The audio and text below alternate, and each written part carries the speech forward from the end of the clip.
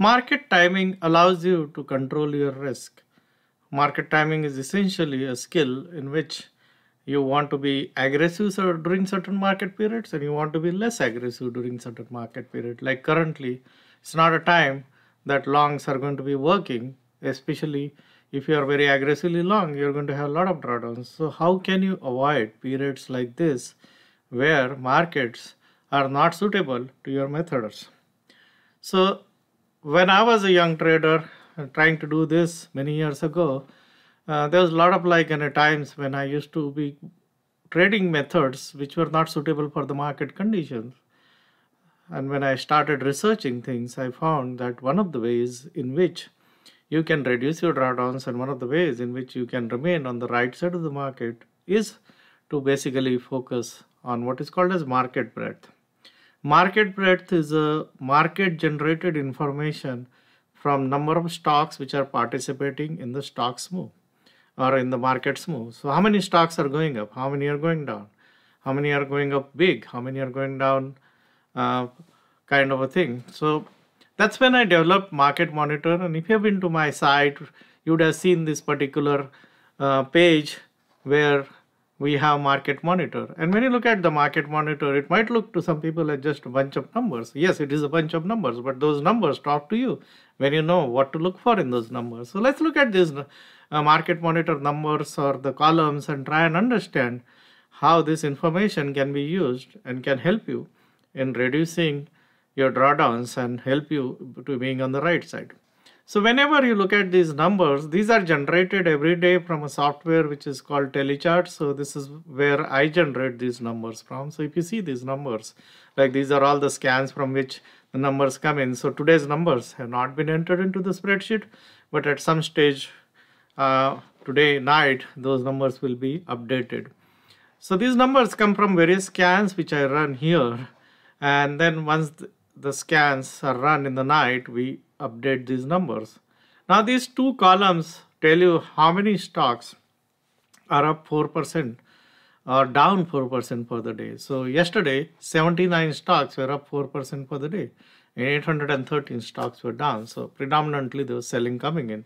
And as you would see here, during this particular time period, you had a lot of selling which has come in. We had 900 stocks being sold, 308, 491. So uh, big selling is indicated by darker red color, right? Now these next two columns are basically essentially uh, ratio of the five days.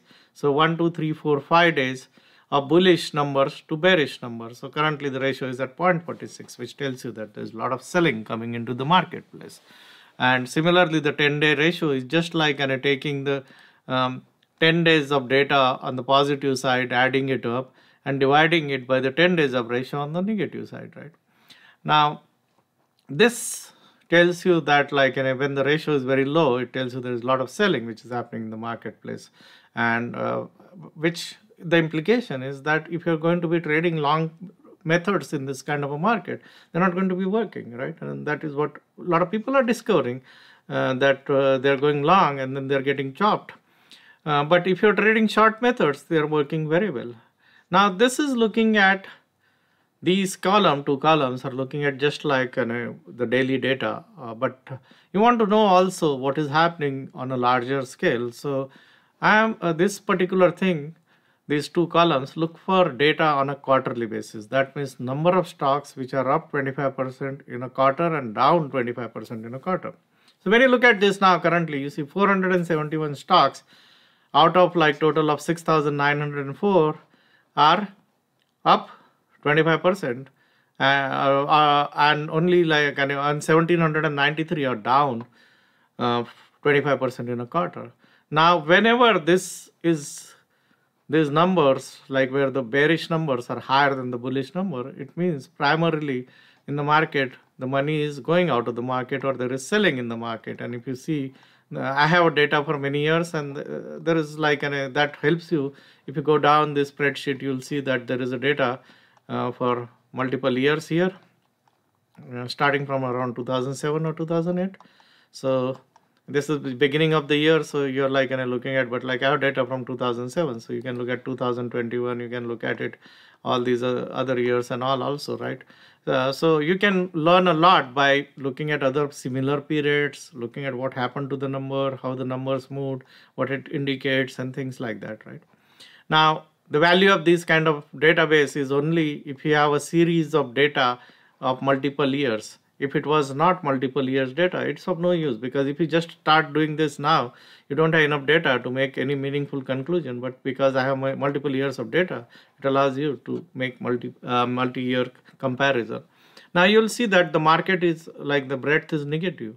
When the breadth is negative typically long based methods don't work. Shorts work very well and that's what is happening. Now at some stage this will become extreme like when extreme breadth become extremely bearish is when you get a turn. Because then all the selling will be priced in or all selling would have happened and then that's where bullish phases start. Now these data are basically secondary breadth indicator primarily when there is a bearish breadth. Uh, the easy thing to remember is when this is red is that shorts are going to work and when this is green longs are going to work and that's as simple as that. But uh, if you look at this column, this add color to this particular database in terms of this gives you additional flavor, additional information. Uh, so this is number of stocks which are up 25% in a month and number of stocks which are down 25% in a month. And if you look at this, currently 330 stocks are down 25% in a month. Now, if you look at this figure, this absolute figure will make sense only if you compare it to similar periods in the past and that's why this database is useful. If you go through it and study it obviously this is not for everybody. Uh, you really need to have deeper understanding and the inclination to get involved into something and looking at these numbers and trying to make sense of this right? And you see that like whenever the numbers are very high like these kind of numbers uh, that's when the market is really selling off right? And 330 is a number which is not means there have been numbers where it has gone much higher than that 540 560 kind of a thing. So keep that in mind. There is a lot of selling but it's not like an extreme selling like what we had seen selling during this time period. So that's the advantage of it and you can look at those numbers over a period of time and see how they move. Now there is the next two columns and the next two columns are basically the columns which is number of stocks which are up 50% plus in a month right now again this adds colors and this gives you short-term signals uh, but unfortunately uh, because our post-covid the market has been really not following the historical norms. So earlier it was a very easy way to find a signal whenever this number used to go to 20% plus or 20 stocks were up more than 50% in a month. It used to typically lead to some sort of a market pullback or a market correction within few days. Now, and when the number used to reach around 20 plus on the bearish side, or if like 20 plus stocks are down, then it you need used to get some sort of a bounce. But uh, post COVID, these numbers have like and not work because the markets is having much more wider uh, breadth numbers than 20 uh, kind of a thing. But it still is a very good timing tool. When you see extremely high readings on those numbers then it tells you there is excessive bullishness and then at that stage is when you say get pull uh, pullbacks in the market. Similarly when this number go extremely bearish that's when you get counter trend rallies. And now this thing is essentially this is looking for 25% in a quarter this is a much faster way to generate the similar signal or get a faster reading on these numbers because this is looking at half of this move. 13% is half of 25% and you're looking at 34 days. There are around 65 days in a quarter, so you're looking at 34 days. So this will give you a faster signal at turns. Uh, like these numbers will turn bearish first or when this market turns bullish these numbers will turn positive first before these numbers are going to turn positive. So that's what happens. Now this market monitor database or the uh, everything in this particular database is based on telechart tc2000 software which i use and consistently since i started publishing this number publicly in 2007 it is the same software the same database being used and uh, the value of any time series is if the data is consistent. That's why i continue to use it using the same database. So this is using tc2000 so in tc2000 as of now there are 6904 stocks. So this database is based on that number of stocks. Now you will see next to it is t2108 t2108 is a Worden indicator which comes in as part of this package. So when you look at t2108 t2108 essentially tells you percentage or number of uh, percentage of stocks which are above their 40 day moving average. Pma stands for price moving average. So when you look at this you will see as to, as of today 32% of the stocks are above their 40 day moving average. That means almost uh, say around 68% of the stocks right? And if my maths is correct are uh, below their uh, 40 day moving average. So majority of the stocks are below. But this is not like an i see a lot of time people are saying oh uh, trying to do a chart reading on this. This doesn't have value in chart reading. The real value in this particular t2108 is when these numbers reach extreme or they go below 20 or they approach 20 is when you get sustainable bottoms right? Numbers below 20 is where so if you look at a longer term chart of this also you'll see that 20 like and if you see here 20 if you draw a line also you're going to see like and basically or like and draw a vertical line right? So this numbers around 20 when it reaches 20 is when you'll see uh, below 20 numbers are when you get extremely bearish market like this was the covid-19 time and that time it reached single digit right? But 20 is a good zone. So if you want to become bullish on the market or you want to say that look the market is extremely oversold or there is a likelihood of a bottom being put in. 20 is a good number to hit for. And this is where typically in my 401k and all i get invested.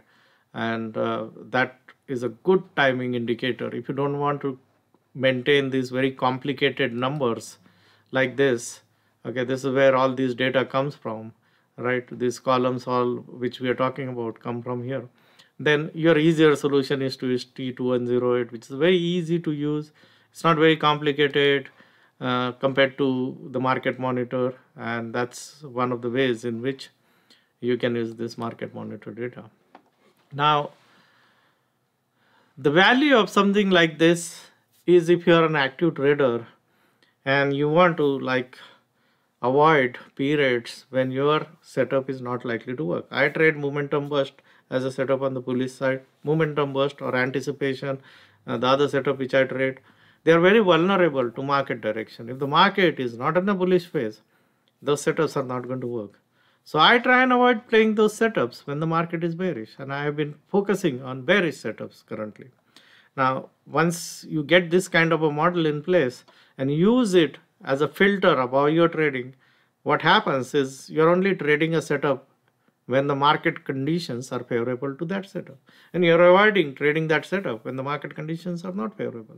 And when you do it successfully, then what happens is you're in tune with the market. And that's the benefit of Market Monitor.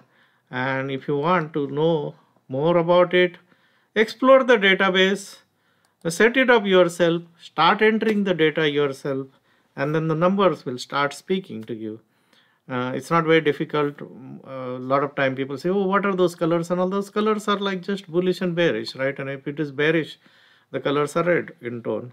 If the color market is green that means like whenever there's a more than 300 reading then it is darker red or darker green. And occasionally once in a while you're going to see uh, yellow. If there is a yellow that just means that it was a half day right? And whenever there's a half day uh, then to indicate that it is colored yellow.